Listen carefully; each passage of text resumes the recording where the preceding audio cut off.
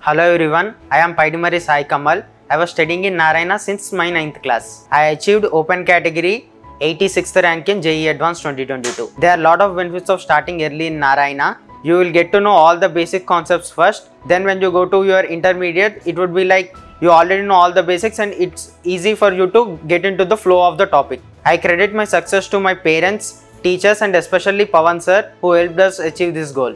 When I joined in Narayana in 9th class, I took Olympiad program. There it was divided into E1, E2, E3, E4 and E5 sections. I was in CBSE and joined Narayana at 9th class. There each level when you go on increasing from each level the complexity of the topics increases and it's very easy to go with the flow because you will be knowing at what level you are and you can work hard easily.